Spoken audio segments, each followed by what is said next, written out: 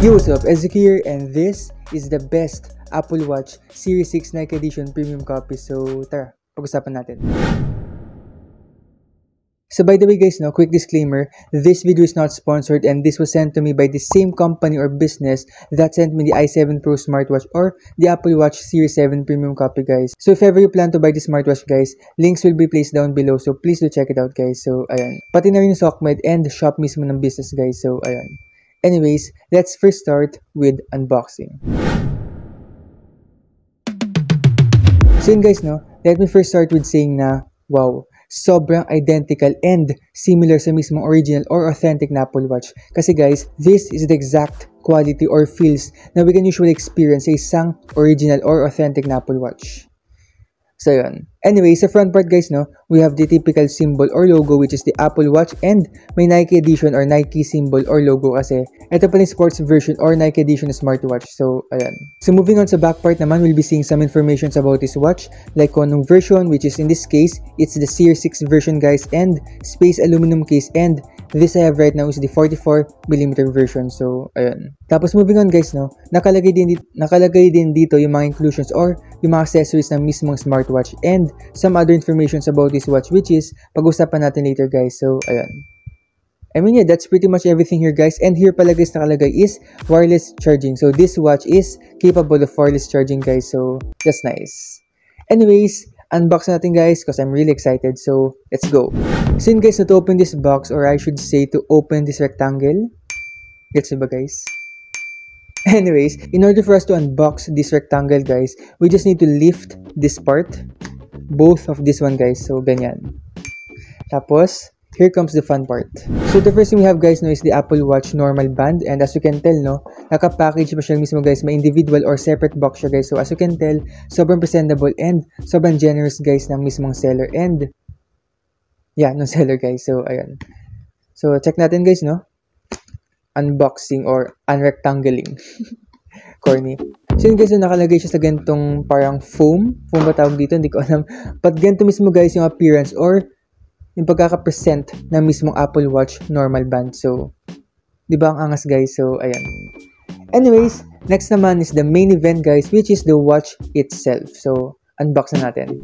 So, first we have guys is the manual. So, as you can tell guys, no, rectangular shape din siya. So, pretty obvious. Anyways, so we have the English and Chinese language guys. So, that's nice.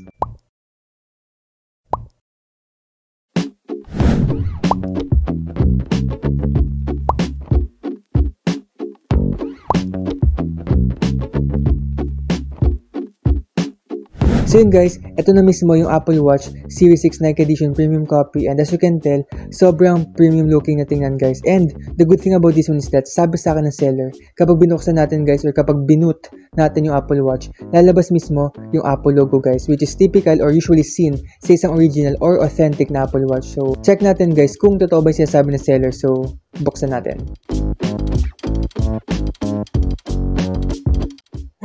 Oh my gosh! You can tell guys, no, may Apple Watch logo kapag binut natin yung Apple Watch. And to be honest, no, this is my first time na makakita sa isang premium copy or clone na smartwatch na may boot up logo ng Apple Watch or ng Apple, lo Apple, Apple logo. So, that's a decent feature guys, by the way. And by the way guys, no, aside sa mga inclusions or accessories na we saw earlier sa unboxing, may libre din siya guys or may freebie na Apple Watch Nike Edition strap or band and a free jelly case. So, di ba ang angasan guys. So, ayun. Anyways, let's now proceed sa mismong design department. So, let's go!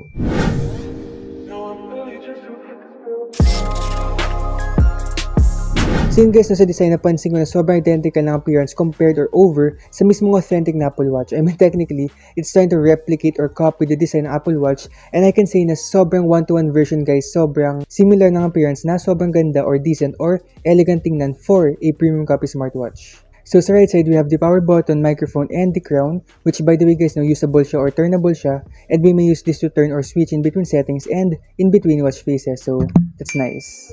So moving on sa left side naman, we have two speakers unlike sa i7 Pro or Apple Watch Series 7 version na may one speaker. So, ayun. So sa back part naman, we have the health sensor and some informations about this watch. So guys, overall for me, design-wise, nothing more, nothing less, sobrang decent and premium looking tingnan despite being just a premium copy or clone smartwatch or Apple Watch. And ayun, overall, in layman's term in my case, sobrang decent, elegant, and classy looking tingnan ng smartwatch na ito. So, ayun. Next department. Ano ba next? Ayun. Features.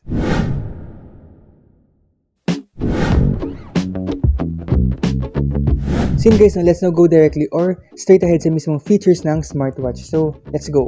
So, swiping from the top, lalabas yung parang control center and as you can tell, we have 6 different built-in applications which we'll discuss later. And below that, we have the time, day, and day, battery percentage, and yung symbol or yung parang function to know whether the smartwatch is connected sa phone. So, ayun. Tapos next naman, for us to change the watch face, we can just simply swipe either left or right or long press the mismong screen and even use the mismong crown or digital crown. So, ayun. Tapos next naman, sliding from below, lalabas yung different applications na mismong watch. So first, we have phone book. So as you can tell guys, na parang siyang contact sa phone. So technically, dito nakalagay yung mga contacts natin sa phone. So ayun. Tapos next naman, we have is dialer. So in this case, we can type a number tapos the call will happen through the watch or the phone rather and not through the watch. Tapos next naman we have is the heart rate sensor. So in this case, it tracks our BPM or beats per minute. Tapos next page naman and application, we first have sports mode. So in this case, we have 7 different sports modes like number 1, walking, running, riding, hiking, football, basketball, and badminton. So in this case, it basically tracks our kilocalories burnt and beats per minute. Tapos next naman we have is the calculator. So basic calculator calculator lang siya guys. So ayun. And next naman, we have the calendar. So, pretty straightforward, guys. So, ayan. Tapos next naman, we have is a sleep tracker. So, in this case, it tracks our hours and minutes slept. So, ayan. Tapos next naman is yung stopwatch, which again, is very straightforward. And panghuli naman is yung sedentary sedentary reminder. So in this case, it tracks or it notifies or alarm us to not be a potato couch, guys. So, ayun. Tapos next naman we have speedometer. So in this case, it tracks our minutes run or meters run rather and yung kilocalories burnt natin. So next naman we have settings. So in this case, we can track or control our Bluetooth settings. Tapos next naman we have is the clock settings. So in this case, pretty basic time settings lang guys. Tapos next naman is yung sound settings. So in this case, we can change the sound in different incoming notifications. Tapos next naman is the volume which is used to adjust the volume. Tapos yung display to adjust the main menu style, brightness, and screen timeout.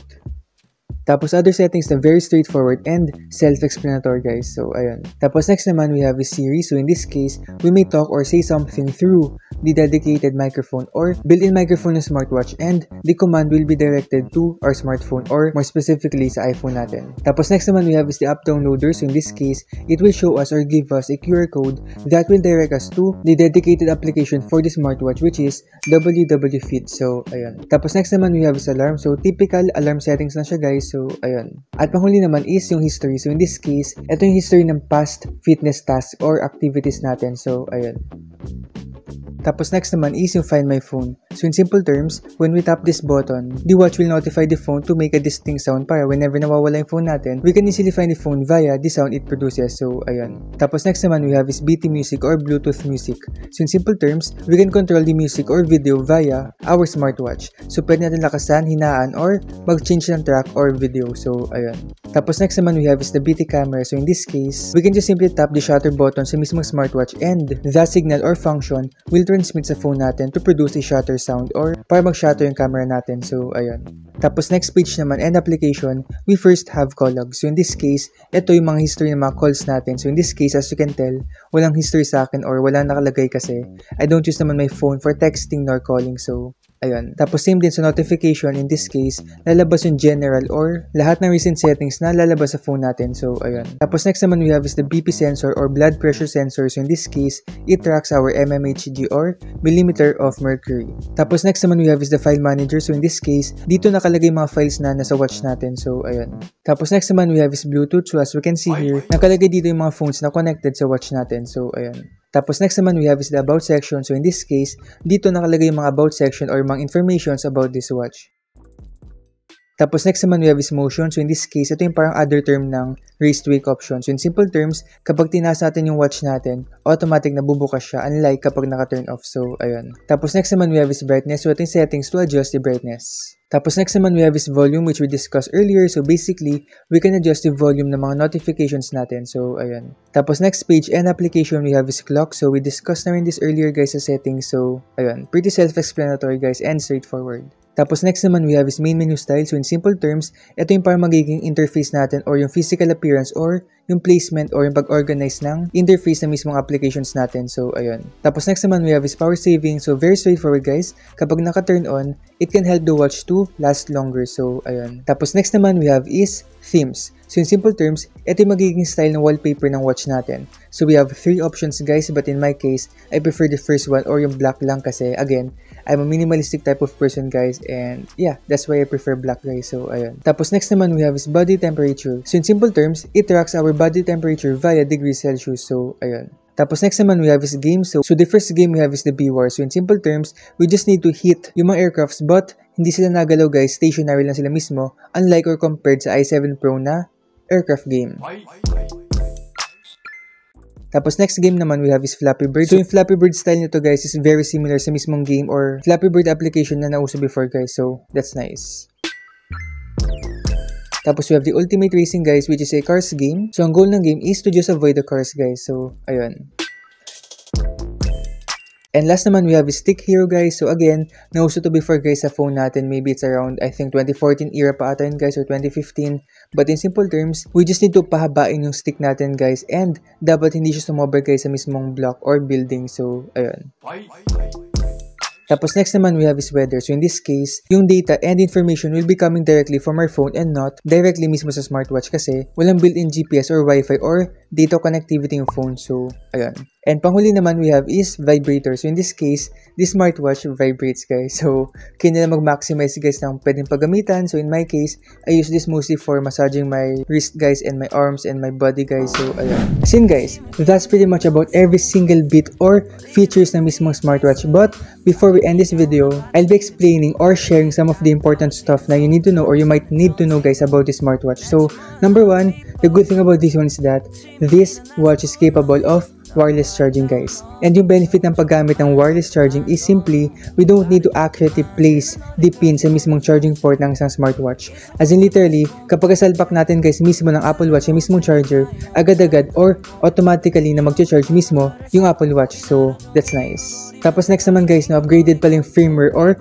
yung mismo software or processor ng mismong smartwatch. And that's the reason kung bakit medyo smooth or smooth talaga yung navigation ng pag-swipe or pag-scroll ng mismong interface or sa mga applications mismo or settings. So, that's nice. At panghuli guys, this watch by the way is water resistant ng IP67.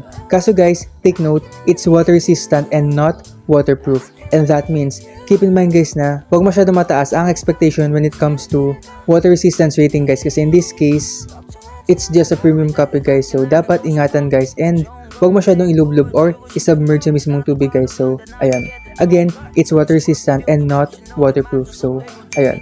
So guys, that's pretty much the end of the video guys. And if you plan to buy this smartwatch, links will be placed down below guys. So please do check it out. So, thanks guys. And by the way, thank you very much din sa seller guys or sa company that sent me this smartwatch guys for review and ayun guys. So guys, I mean yeah, that's pretty much everything guys about this smartwatch. And by the way, share ko lang. I don't mean to brag guys ha.